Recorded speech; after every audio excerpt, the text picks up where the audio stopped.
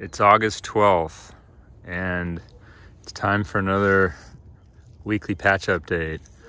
These are the 2006 Wolf leaves, um, some of the newer leaves, really big and in good health. Much better health over on this side of the plant and over on that side of the plant than on the back section um, where we're starting to see some issues with spider mites and a little patch of powder mildew here and there, but all in all, not too bad. So there's a plant, and yeah, we are at the wall. So I think only a couple of vines that I just need to terminate here. Over here, I'm completely terminated. Everything's up against the wall, so took longer than expected, but the full thousand square feet for this plant is completely filled in. And bam, there is the pumpkin. It is six weeks from the weigh off that I hope to take this pumpkin to. It's been gaining over the last 10 days about 23 pounds a day. And it's sitting at, oh, I just looked and now I forget, 1,200 and something. Um, and it and it is slowing down. So the last 10 days, 23 pounds a day, but in the last few days, uh, less than that. Um, you know, I have a few kind of little cracks sort of forming on the blossom end that I have to say are scaring me a little bit. Um, just because any kind of split on the blossom end is is game over. Um, so hopefully that's gonna be okay. Um, the split on the stem on the other side that I showed you last week uh, is doing just fine. It hasn't grown at all. Um, just starting to get some cantalouping on the, the flesh of the, the pumpkin. Still pretty young and smooth up here, but you can start to see the cantalouping forming, which is where you start getting that texture on the skin. Had to move the pumpkin a few times. Probably need to move it again. It's getting a bit tight right here. Starting to sort of kink a little bit here. Not too bad. Um, but uh, everything's nice and dry. This fan's running 24 7 unless I'm taking a video like I am right now. And like I said before, it's a really pretty pumpkin, good shape, but you know, it's it's not going to be as big as as the 2560 Ginger that I got going on the other side, um, but it doesn't need to be. So speaking of that, I'll walk you over and uh, let's go look at the 2560. All right, here's the 2560 plant. It is also completely filled in. So same thing, we got the full thousand square feet here.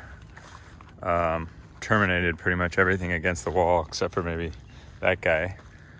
So these are all terminated here. Same thing as the 2006 Wolf. New plant growth looks pretty good. Curved a couple of the ones that are closest to the pumpkin around here, so I'll just, you know, try and fill in a little bit of space. It's not even about really filling the space in so much as just any vine growth that is real close to the pumpkin, not, you know, way down the main vine. I don't know, I feel like has the closest direct access to um, feeding the pumpkin, especially late in the year. So we'll see that theory plays out. These leaves are also looking pretty good, good size, um, in pretty good health. And uh, let me uncover this beast. So from this angle here, I'll start here. You can kind of see where the, on the blossom end, it's starting to, to roll over the front. Um, you know, the blossom itself is actually touching the pumpkin now. But look at how wide this thing is. And I think that's really where, like I've said before, it uh, it's deceiving because it's not very tall, although it is getting pretty tall. Um, it's, uh, you know, it's all the way off the board on that side and I'm well onto my five foot board on that side.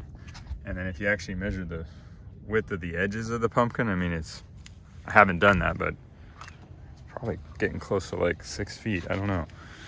Um, it's just it's just totally different than than the wolf. Like it doesn't have traditional pumpkin shape like the wolf does. Uh, but the stem area, small stem, but everything back here is looking really good. There's no little cracking or anything like that. I mean, this pumpkin's still young. Um, let me let me check the numbers and then I'll come back with the numbers. Okay, I just looked. Uh, it's nine weeks from today uh, until the Half Moon Bay pumpkin weigh off, which is where I would like to take this one. No guarantees that that's where it'll end up, but that's kind of the where I've penciled it on the calendar. Um, nine weeks just seems like so long to to keep growing this thing, but um, yeah, well, right now it's going well. We'll just keep our fingers crossed and hope it continues to go well. This thing is 55 days old today. It's been growing 41 pounds a day on average over the last 10 days, a little less in the most recent days, but the 10 day average is 41 pounds a day. And it weighs 1,445 uh, pounds right now, uh, which is pretty good. And, you know, it's got the plant, I think, to, to push it. Um, you know, there's not a whole lot, like I mentioned last week, that that I need to be doing right now other than move the pumpkin if it you know starts to push backwards on its vine which I, I think I'm having to do every few days keep an eye on the plant make sure that there isn't a sudden you know insect or fungus attack that uh, you know doesn't go go checked keep your your water and uh, nutrients you know moving at the the right pace and and that's about it we just kind of just keep monitoring it. So this one, as I've mentioned before, it's it's definitely the one that has the potential for me to be, you know, bigger. I mean, it's already bigger than anything I've ever grown in its current size. So uh, it's just want to get it, just want to get to the finish line. All right, I think that'll do it for patch one update, or sorry, patch two update. Why don't we cruise over to patch one and I'll show you what's going on over there. All right, this is patch one. The 2266 Kissamore is mostly gone. Um, I'll show a picture, but the, the main vine I found had actually shriveled and, and sort of separated itself about here. So it was all this healthy plant back here, uh, but the main vine had, had basically closed off and, and shriveled and disconnected itself. So really, probably and I, maybe I didn't notice it right away because it looked like it had been that way for a bit. So I, I still suspect yellow vine disease, and it just had really had a, a, a, deep onset of it. So really, I think the pumpkin has been growing only based on this little bit of vine and, and secondaries that are on this side. So I took the rest of the plant out. Um, I'm I'm sending plant material to two different universities that are doing active research on cucurbit yellow vine disease. Um, I also collected some cucumber beetles and some uh, uh, squash bugs, um, which will be part of the analysis that they do and as part of their study. So it'll be interesting. I'll share any any updates. As of now, there's no uh, sort of scientifically documented or known uh, connection between the cucumber beetle and uh, cucurbit yellow vine disease, but um, it's suspected. So the the genetic testing that they'll do would would uh, would answer that. All right, so here's the 2245 Andrews, and it weighs over 800 pounds now and grown a little over 20 pounds a day. Um, and there's a little bit of drama here. I've never had stem splits growing before, and I got one for the first time on the wolf and then I got a bigger one here on the 21, 2245 Andrews. So uh, it's kind of coming into the pumpkin a little bit here. It's really nice and dry, um, but it has grown. And there's one on the bottom. So it kind of, it's like a through hole. Um, as far as I can tell, it's not going into the cavity um, and the pumpkin's still growing. Um, but yeah, doesn't make me particularly comfortable. Um, just seeing it. So the fan is on there 24 7, and I got some uh, sulfur powder as a fungicide, you know, in the area.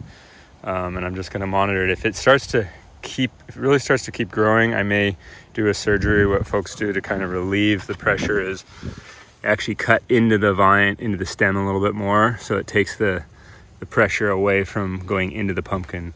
Um, the reason why this is legal is because this goes into the cavity of the stem, but not into the cavity of the pumpkin.